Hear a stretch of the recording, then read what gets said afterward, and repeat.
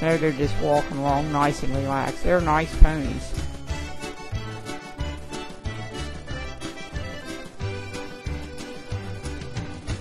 I'll include a written description and an email to you so that you I'll tell you what their breeding is and how old and how big we expect them to get and so forth again. Those are nice ponies. I think Diego's really pretty with those unusual markings. Got a black Friesian tail.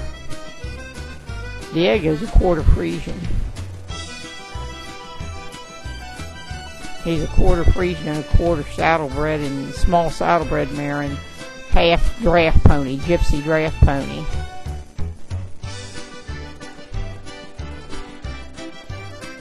That makes him eligible for the pony division of the Georgian Grande Association. He's Friesian draft and, and uh, a little small saddlebred mare. He he's going to be, as I said, 54, about uh, 54 to 56. I don't think I'm sure he won't get any bigger than 56 inches. He's two year old now. We can, if you're interested in them, we'll measure them for you and tell you exactly what they are. There's Cisco in the front. Isn't he a pretty pony? Diego black mane against that white, those white spots. Really pretty pony, unusual tricolor.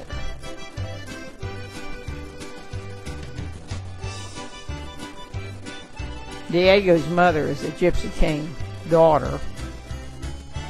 And the other pony, Cisco, is by Gypsy King. And his mother is a uh, gypsy style mare.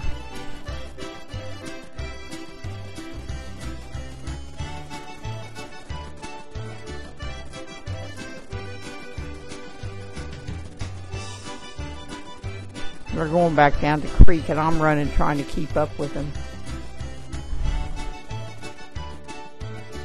I may have to cut this video up in two or three pieces to get it to go through. Going to be pretty big. There's Cisco, he went right across, Diego went across and got out first. This uh, video is going to be about eight minutes long. I'll probably have to cut it into two parts in order to get it to go through to your email.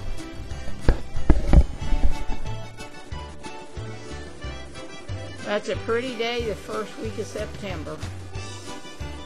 Nice warm late summer day.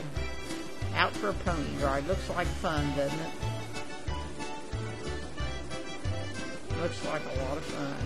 Good pair of ponies. Cisco's the black and white. Diego is the tricolor.